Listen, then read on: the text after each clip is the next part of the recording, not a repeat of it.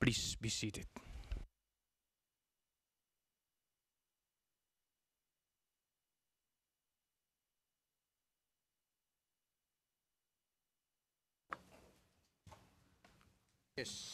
Le président. Oui, Monsieur McCloskey. Votre prochaine cible est le général Panderovitch. Monsieur McCloskey, merci, Monsieur le Président. Et comme vous pouvez le constater, l'équipe se prépare.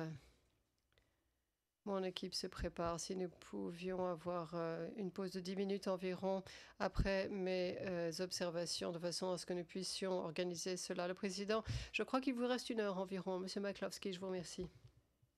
Bien.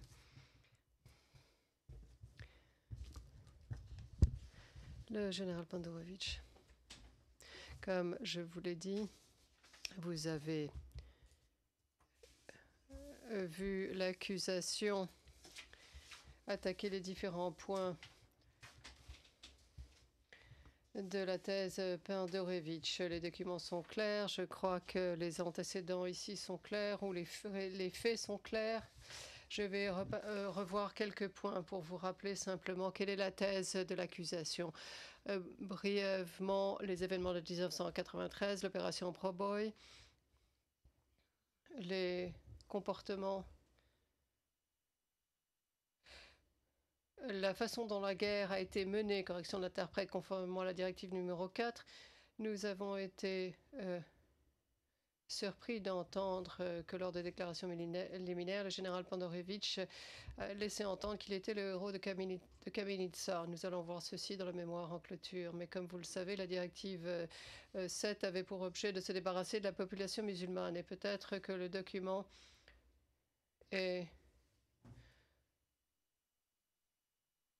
un document euh, pour ce qui est du niveau d'autorité qu'il exerçait euh, dire euh, que c'était l'ordre du général Jivadovich qui mettait en œuvre la directive numéro 4, et même si on utilise un langage un peu vicié pour déplacer la population de ces régions.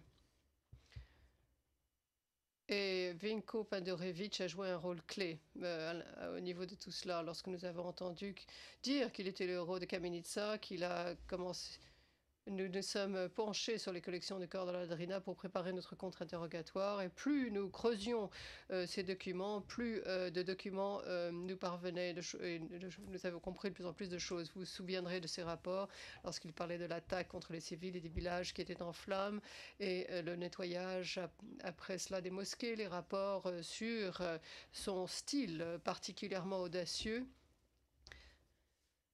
Euh, lorsque tout ceci est paru, lorsqu'il euh, agissait euh, et quittait le corps de l'Adrina. Donc tous ces termes qui sont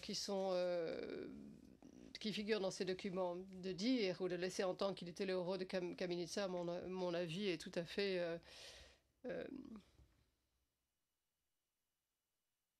désastreux l'attaque de l'enclave, euh, dans laquelle il a clairement joué un rôle majeur, qu'il savait que la version du corps de l'Adrina de la directive 7 euh, a comporté euh, des termes tout à fait affreux. Il était au courant de ce qui s'était passé. Son groupe a joué un rôle significatif dans la prise de l'enclave le 12 juillet. le 12 juillet, la réunion du 12 juillet à Bratunats. Il insiste que ceci s'est passé le 11 juillet. Je suis très surpris qu'il ait insisté là-dessus. Et je suis surpris de constater qu'il continue à insister dessus. En réalité, dans un document euh, sur lequel nous sommes mis d'accord pour que ceci soit versé au dossier, il s'agit d'une déclaration du général Andrich qui dit qu'il s'est rendu à une réunion le 11 euh, parce que la défense souhaitait que ceci soit versé au dossier. Mais la question que je pose, que je lui pose, c'est qu'est-ce qu'il a été dit à la réunion? On a parlé de GEPA, mais que s'est-il passé le 12 Eh bien, c'est lorsque Mladic est venu et qu'il a euh, fait son discours. Réponse oui, à GEPA. Euh, question. Euh, McCloskey, personne ne conteste le fait que Mladic ait donné un discours à, à le 13. Et donc Andrich s'est trompé d'un jour. Je suppose euh, qu'on on tiendrait compte de cette erreur. Mais même si tout le monde indiquait, même si cela signifiait qu'ils étaient tous à Bratuna ce 2 juillet, le jour où le plan a été mis en œuvre pour la première fois à Potocari. Je pense qu'ils pourraient tous euh, euh, admettre cela. Leur, arrogance était extraordinaire. Les éléments de preuve et les conversations interceptées, Yevgevich, Biyevich, ont dit que ce sont des, des, poissons idiots et ils ont gobé cette histoire, ces gens. Tout, tout, même aujourd'hui, ce qui est contenu dans le mémoire en clôture, je sais d'après les éléments, et vous savez que cette réunion s'est déroulée de 12 et ceci figure dans l'écoute téléphonique. Pourquoi insister là-dessus, je me demande C'est parce qu'ils étaient avec Madic. Euh, on a parlé de choses... Euh,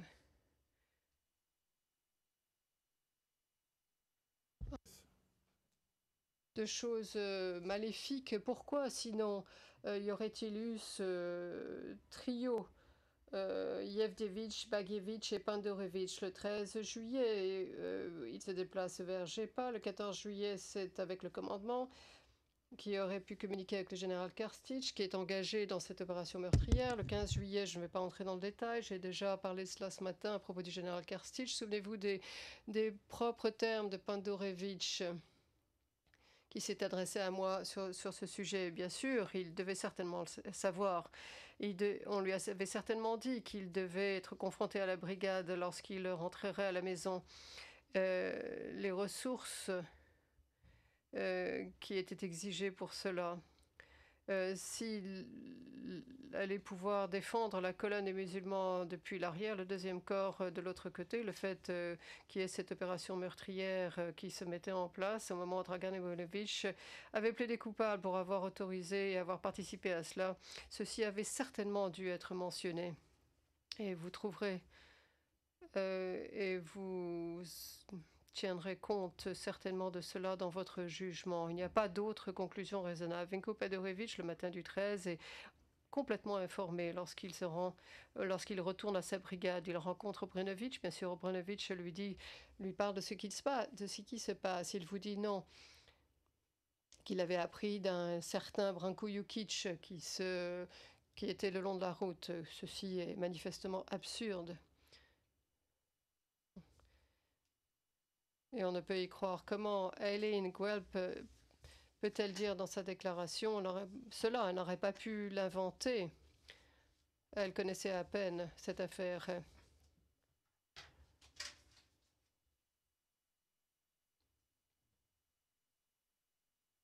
Tous euh, les éléments de preuve, le témoignage, le comportement, bien sûr qu'on lui avait parlé, tout cela l'indique. Ce récit qu'il a raconté qu'il a tissé n'était pas plus crédible que les euh, cochons qui volent. Nous allons parler euh, des cochons un peu plus tard.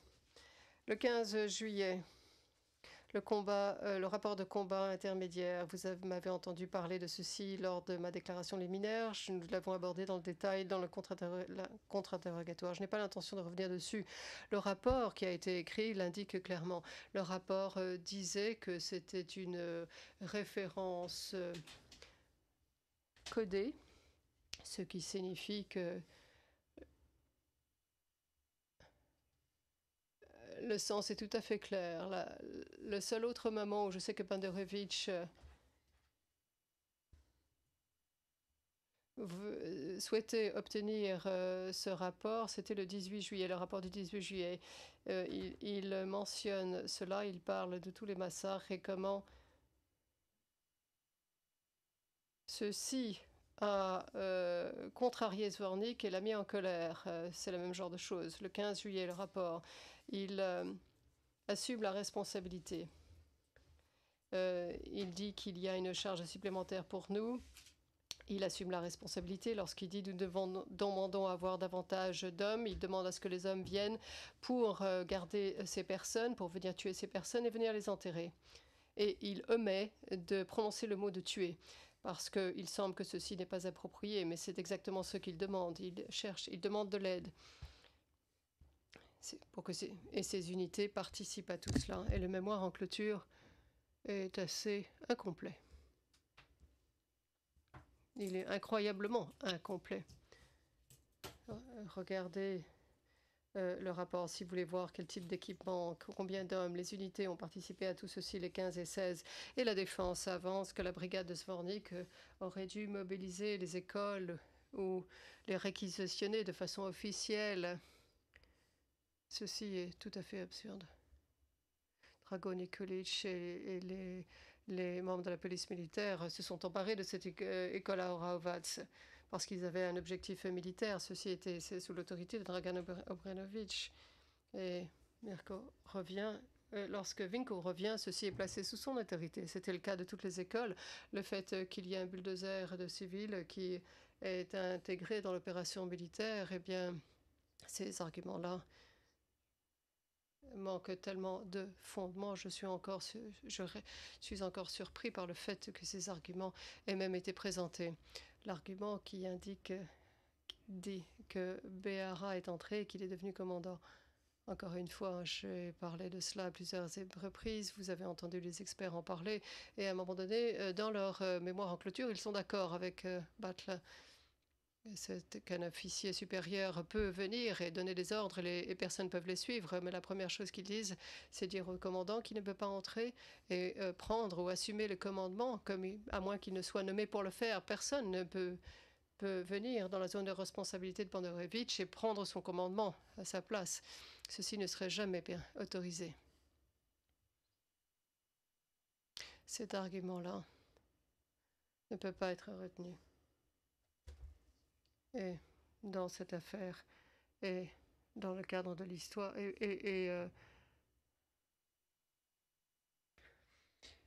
et pour l'histoire avec un, un, grand H, cet argument doit être euh, jeté au rebut. Mis au rebut. Correction l'interprète. Private session brief. Monsieur le Président, pourrait-on s'il vous plaît aller en audience à huis clos partiel Nous sommes en audience publique. Monsieur McCloskey.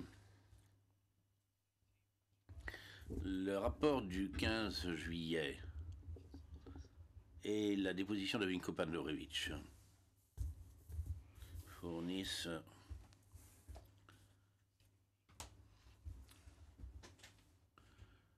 comme une fenêtre unique en son genre pour voir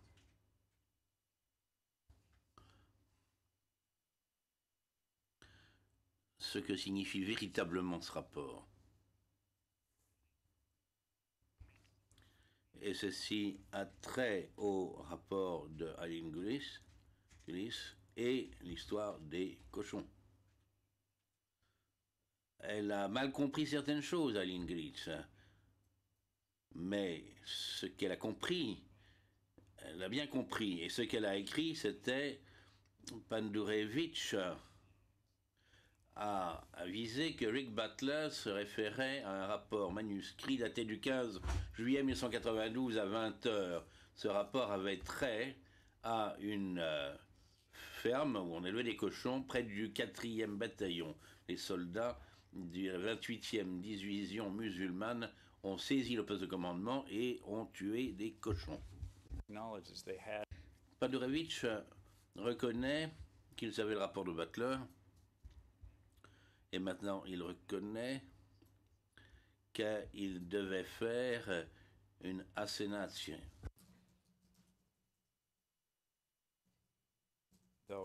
Assination. Mais rappelez-vous comment tout ceci a commencé. Une immense attaque contre Eileen Gillis, une, une immense attaque contre la Sinasia la sinasia voulait dire euh, aller chercher où se trouvaient euh, des blessés ou euh, les morts, et deuxièmement, il fallait qu'il y ait ensevelissement des cadavres. Ce qu'il explique à Aline Galis, c'est ce que voulait dire le terme assignatier le 15 juillet c'était une référence euh, par rapport au moment où le 4e bataillon a été euh, dépassé le 15 euh, juillet et où des cochons ont été tués et devaient être ensevelis. C'est ça ce qui est dit dans le rapport. Le problème, c'est que euh, ce quatrième bataillon a été dépassé, mis en déroute le 16 et est arrivé tard dans la nuit du 15 après que ce rapport ait été rédigé. C'est le premier problème qui se pose. Le deuxième problème, c'est qu'il n'y a aucune manière sur cette terre qu'un commandant de brigade euh, qui aurait à faire face à ce à quoi Vinko Paduravich avait à faire face rende compte de l'ensevelissement de 20 ou 30 ou un autre chiffre de cochons et qu'il rende compte de cela au commandement du corps de la Drina. Maintenant, Vinko Paduravich a essayé de vous faire admettre cette histoire, de faire admettre cette histoire à Eileen Gillis, et elle l'a consignée par écrit. Et lors de son interrogatoire, son, déposition directe, euh, quelque chose qui avait été ex extrêmement bien préparé, très bien organisé, et il n'y avait pas de sujet plus important au cours de ce procès que le euh, rapport intérimaire de combat quotidien du 15 juillet. Regardez ce que Bandurevich a dit à ce sujet. Il reconnaît, ayant parlé, d'avoir parlé à Eileen Gilici, de la Sinacia mais il note, je suis sûr, qu'elle a mentionné euh, dans, euh, en 1992 dans son rapport, elle dit qu'il parlait d'un incident qui avait eu lieu en 1992 dans un autre secteur, 1992-1993 je crois. Et ça c'était sa déposition directe. Il n'est fait aucune mention du fait qu'on se soit emparé du poste de commandement, comme c'est noté, et que le, du 4e bataillon et euh, de la 28e division musulmane, comme l'a noté Aileen Gillis. Tout ceci a été complètement laissé de côté dans sa déposition, euh, en témoignage direct. Il fallait bien que ce soit pour un motif. Il ne veut pas même évoquer de près ou de loin cette euh, histoire euh, folle. Donc, au cours du contre-interrogatoire, le général, qu'en est-il du 4e bataillon? Regardons ce qu'il nous répond. Il dit Oh oui, ça a eu lieu. Et il ajoute Il y avait eu avant cela un barrage d'artillerie essayant de faire. Euh, essayant d'expliquer pourquoi donc, et comment les cochons étaient morts avant que le poste n'ait été pris. Et il termine en disant oui, il a dit à Eileen les deux. Premièrement, numéro un, j'ai dit, euh, général, il faut que vous alliez prendre vos cochons. Et euh, il a dit qu'il lui avait dit, en parlant des euh, cochons en 1993, lui avait raconté cela en 1995. Et si il lui a raconté cela euh, en parlant des cochons en 1995, tout comme elle l'a dit, alors elle est en train d'expliquer la synacie avec l'histoire concernant les cochons. C'est absolument absurde. C'est tout à fait impossible à admettre. Lorsque l'on est pris dans un piège comme celui-ci, il est très difficile de continuer à mentir sans se couper. Quelle que soit la façon dont on s'est bien organisé, quelle que soit l'astuce que l'on puisse avoir dans une tentative pour essayer de euh, couvrir tout cela avec euh, des tirs d'artillerie euh, qui l'ont mis en difficulté. Il est allé trop loin. Avec, il est allé trop loin, sur mon interprète, avec ce qu'Alingelis a dit. Il a rencontré davantage de grabuges et de difficultés. Au cours du contre-interrogatoire, il a fini par se couper complètement. Euh, il l'a fait sur la plupart des sujets. Le président, Monsieur McCloskey, pourriez-vous, s'il vous plaît, être plus précis en ce qui concerne les pages du compte-rendu, nous donner une référence? Regardez la ligne 8. Donc, lors du contre-interrogatoire, le général, que s'est-il passé pour le 4e bataillon? Et tout ce que je demande, c'est une référence. Monsieur McCloskey, la déposition directe de Vinko Pandurevich, euh, à laquelle je me suis référé, c'était 31 286 à 31 288. Euh, le contre-interrogatoire de Pandurevich en ce qui concerne le 4e bataillon et euh, la ferme euh, d'élevage porcin, c'était 32 237 jusqu'à 32 240. Et ceci est expliqué dans notre mémoire, Monsieur le Président. Président, je vous remercie. McCloskey, ce rapport veut dire que, à Sénatia veut dire ce que ça a toujours voulu dire, à savoir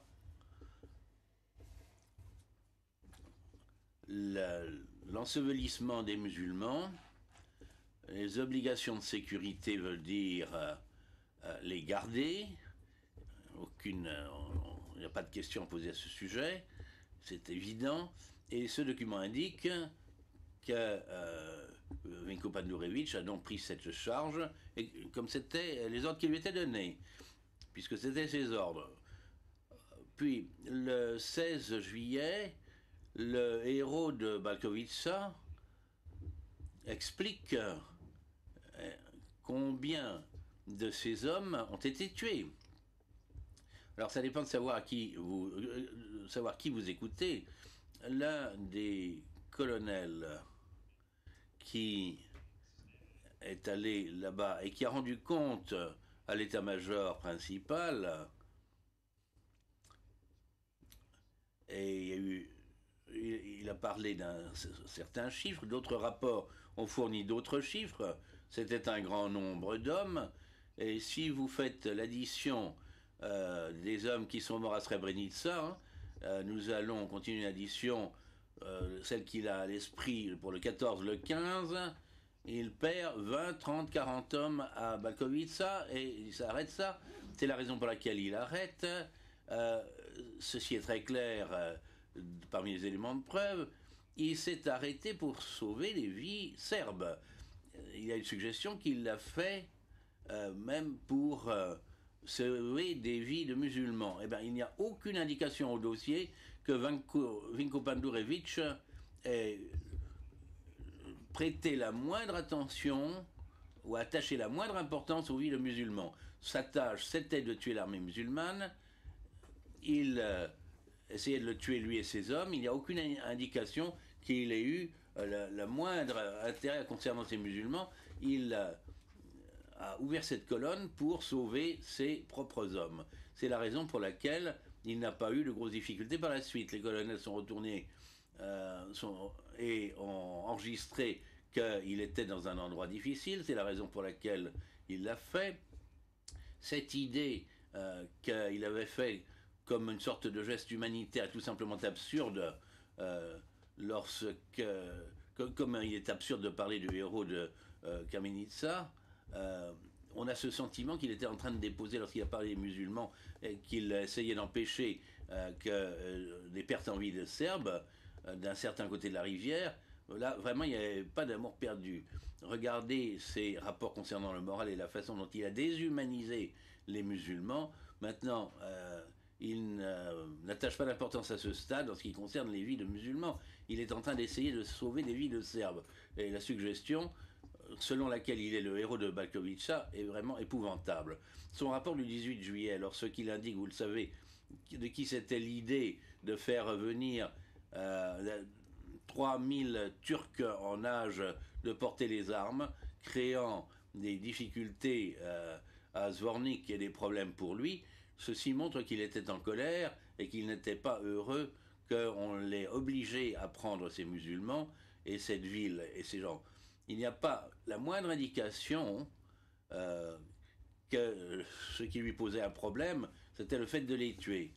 Euh, c'était que lui et ses hommes devaient le faire. Il se plaint en fait de la charge qui pèse sur lui. Et Azvornik, pour devoir le faire, non pas, il ne se plaint pas du fait qu'il faille le faire, est-ce que vous avez entendu le moindre remords dans sa déposition? Je n'en vois aucun. Et il n'y a pas la moindre préoccupation ou la moindre inquiétude ou la moindre pensée pour les musulmans dans l'un quelconque de ces rapports. Certainement pas ces deux, le 16 et le 18 ou, le 15, rapport envoyé comme celui-ci à, son commandement, général Kirstich euh, aurait été euh, ressemblé une trahison.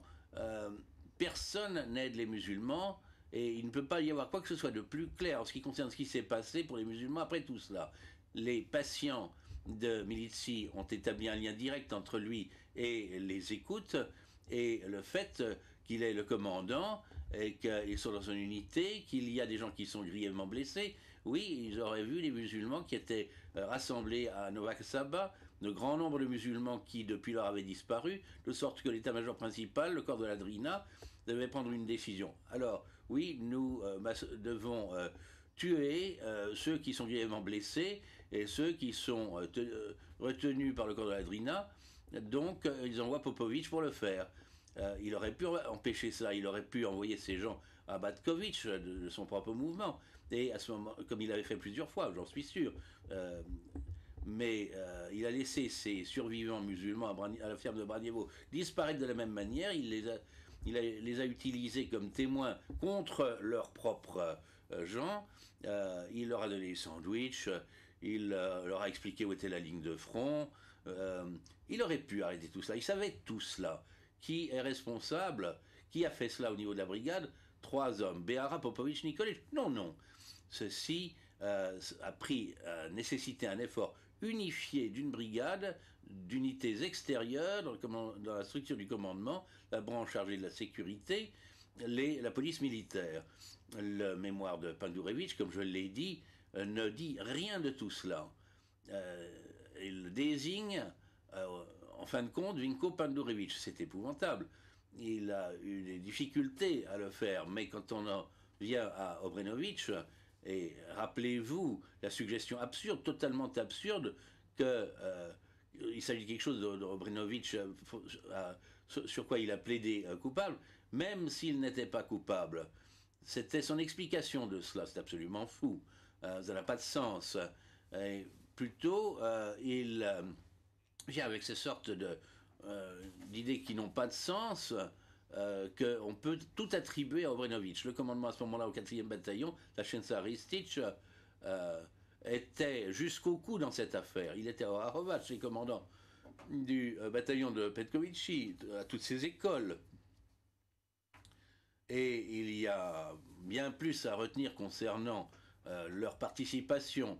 Le bataillon Rochevich, Sreko est mouillé euh, jusqu'au euh, cou là-dedans. Lorsque Vinko Pandurevich est de retour, son unité, ses hommes euh, mêlés à l'exécution, le transport proprement dit, c'est, ça n'est pas plus important. Il n'y a pas de personne plus importante pour Vinko Pandurevich que les commandants de ces bataillons. Ce sont les hommes qui commandent les troupes dans les tranchées, les hommes qui sont dans les tranchées euh, euh, s'ils n'agissent pas, Zvornik sera perdu. Sreko Achimovic est un élément clé.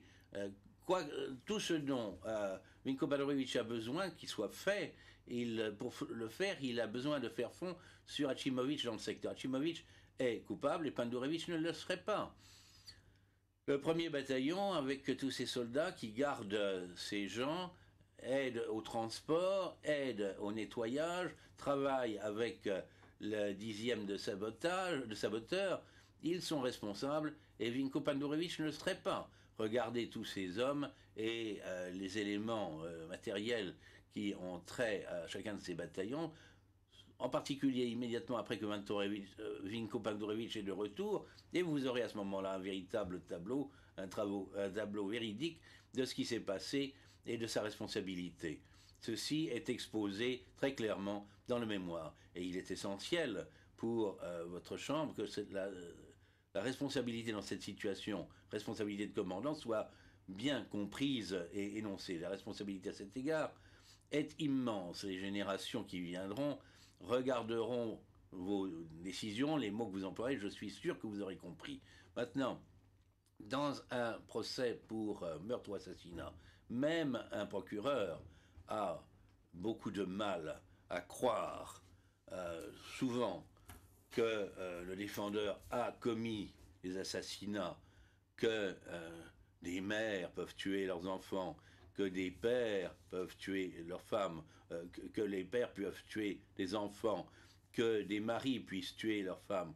C'est parfois difficile de faire face à cela, en particulier lorsqu'il s'agit de meurtres en masse. Comment est-ce que quelqu'un peut faire des choses pareilles? Est-ce qu'il euh, faut qu'il s'agisse de démons, euh, de diables? Eh bien, la réponse est non. Et à ce stade euh, de l'argumentation, je voudrais reprendre des mots que dans lesquels certaines personnes s'expriment mieux que je ne l'ai fait moi-même. Et au cours de mes lectures. Cours de mes lectures, j'ai trouvé un texte que je vais vous lire. Il s'agit de Tolstoï, dans La guerre et la paix. Je le cite non pas parce qu'il écrit de façon brillante, c'est euh, l'un des motifs, mais c'est parce qu'il a vraiment mis le, le doigt sur euh, la condition humaine en temps de guerre et en temps de paix. Et euh, je, j'aurais préféré pouvoir vous lire quelque chose d'Anna Karenine, mais non. Euh, je vais bien sûr vous citer Guerre et paix. Et dans cette histoire, il y a un homme et un officier, le prince André, et il se trouve un poste de commandement avancé avant une grande bataille avec euh, les troupes de Napoléon. Et il parle à Pierre et, et, lui dit Alors, Pierre lui dit Alors, euh, vous pensez que nous allons gagner la bataille de demain? Oui, oui, répond le prince André d'un air absent. Il y a une chose que je ferais si j'en avais le pouvoir, reprend-il. Je ne ferai pas de prisonniers. Pourquoi faire des prisonniers? C'est de la chevalerie. Les Français ont détruit ma maison et sont sur le point de détruire Moscou. Ils ont insulté et continuent de m'insulter à tout instant. Ce sont mes ennemis. À mon avis, ce sont tous des criminels. Et c'est ce que pense également Timurkin et l'ensemble de l'armée. Ils devraient être exécutés, puisque ce sont mes ennemis, ils ne peuvent être mes amis. Quoi qu'on ait pu dire à Tilsit. Oui, oui, euh, bredouilla Pierre, regardant avec des yeux brillants le prince André, je suis tout à fait d'accord avec vous. Ne pas prendre de prisonniers, continue le prince André. Ceci en soi changerait complètement les choses dans toute cette guerre et la rendrait moins cruelle. Pour le moment, nous avons joué à la guerre. Et ça, c'est ça qui est lâche. Nous avons joué à la magnanimité et à toutes ces calembredaines, cette magnanimité, cette sensibilité. C'est comme la magnanimité, la sensibilité d'une dame qui s'évanouit lorsqu'elle voit tuer un veau. Elle a si bon cœur qu'elle ne peut pas avoir du sang, mais elle apprécie de manger du veau servi en sauce.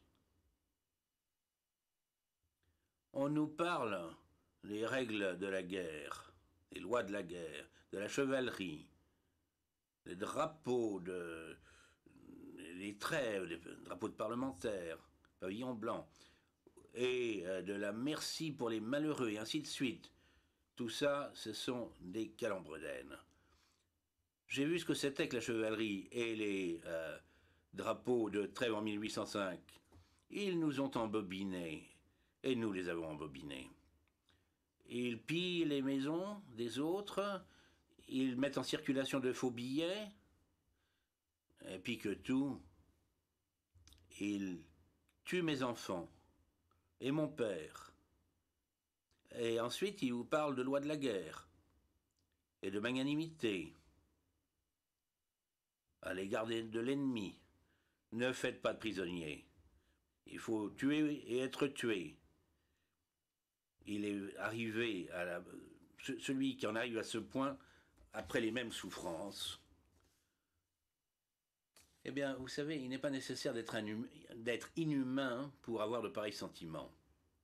Quand on voit que votre père a été tué,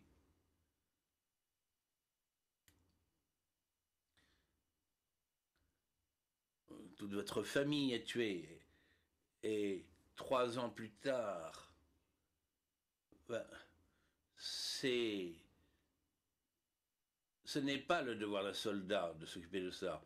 Pour moi, il m'est facile de demander la parole ici, de citer les conventions de Genève, je le comprends. Je n'ai pas moi-même subi ce que ces gens ont subi. Mais l'impunité, si nous voulons l'empêcher, il faut à ce moment-là que le tribunal, votre chambre, se trouve en première ligne. Maintenant, les victimes, l'espèce, dans cette affaire, ne sont pas bien loin de nos pensées. Euh, je pense que tout revient à la question des victimes. Euh, je n'ai pas la, la, plus grande confiance dans ce que je dis, mais il y a des mots écrits sur la muraille que je voudrais voir mis en œuvre, que je voudrais voir descendre. Mais je pense toujours là, avec euh, ces rangées et ces rangées de pierres tombales à Potocari, et euh, les yeux qui euh, me regardent après la vidéo. Il y a un soldat du nom de John McCrae, il y a de nombreuses années, qui a rédigé rapidement ce poème sur un endroit où il, pas très loin d'ici, c'est sur mon mur. Je vous le cite, dans les champs des Flandres, dansent les coquelicots entre les croix, qui remparant marquent nos tombes. Et dans le ciel, les alouettes, avec courage, chantent et volent encore. On les entend à peine au-dessus des canons. C'est nous les morts. Hier nous vivions, sentions venir l'aube, admirions le soleil rougeoyant dans le couchant. Nous aimions, on nous aimait. Nous gisons maintenant sous la terre des Flandres. Reprenez notre lutte avec l'ennemi. Nous élevons vers vous nos mains mourantes pour vous passer le flambeau. Portez-le bien haut, car si vous manquez à la foi que vous nous devez, nous qui sommes morts, nous ne dormirons pas alors même que poussent les coquelicots sur les champs des Flandres. Votre chambre de première instance est la mieux placée pour faire que les hommes et les femmes de Srebrenica puissent trouver le repos et la paix et une certaine justice. Je vous remercie beaucoup. Le président, je vous remercie. Donc, comme il a été convenu, nous allons suspendre l'audience. Je vais me consulter avec mes collègues pour savoir quelle est la durée de la suspension. Les membres de la Chambre se consultent.